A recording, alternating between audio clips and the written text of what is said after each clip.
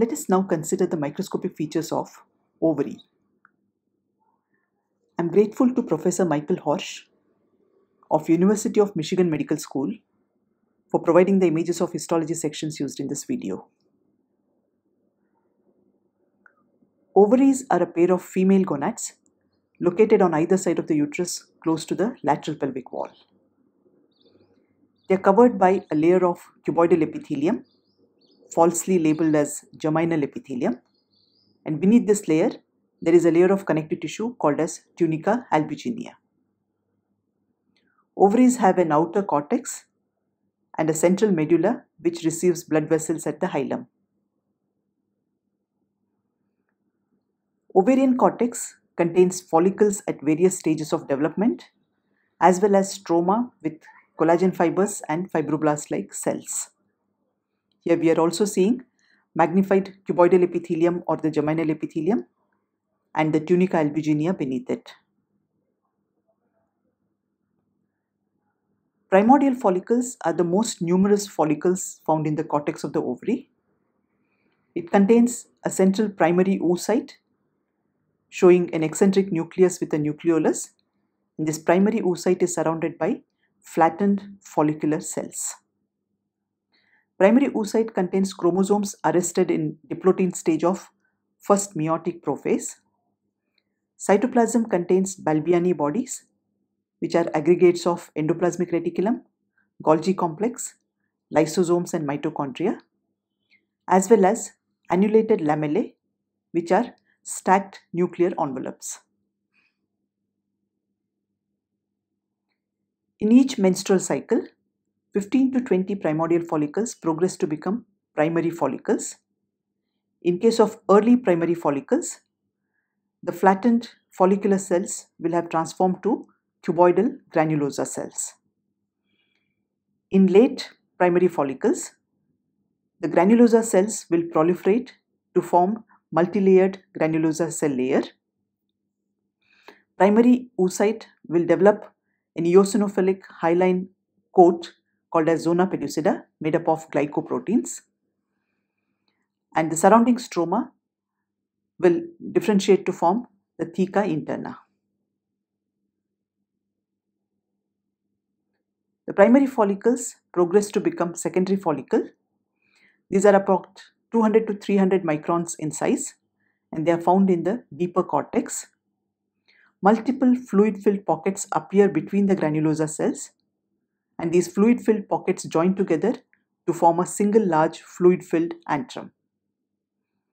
This antrum will segregate the granulosa cells into multilayered stratum granulosum lining the antral cavity and the cumulus oophorus surrounding the primary oocyte covered by zona pellucida. Surrounding stroma differentiates into an inner cellular theca interna and an outer fibrous theca externa.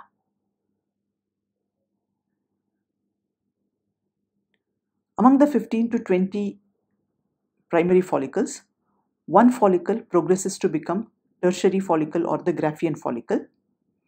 These are approximately 2 centimeters in diameter and they reach close to the surface of the ovary, pointing at the stigma. They have a large antral cavity lined by multilayered stratum granulosum. The cumulus cells will now become loosely arranged around the oocyte in preparation of for the ovulation. The primary oocyte will complete its first meiotic division to form the secondary oocyte now. It is still surrounded by zona pellucida and after the completion of first meiotic division, the first polar body is extruded into perivitelline space. We can also see the surrounding theca interna and externa outside the follicle.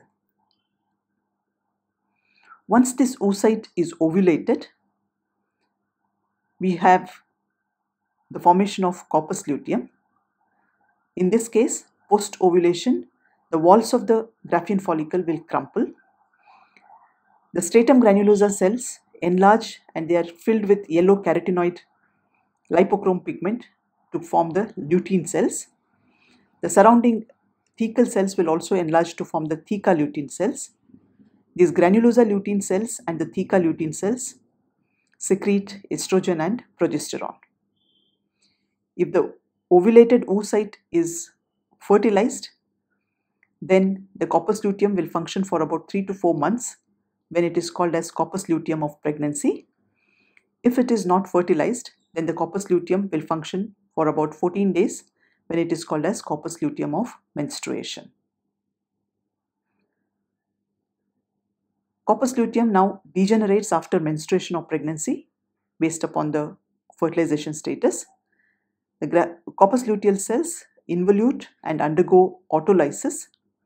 Persisting white scar is called as corpus albicans.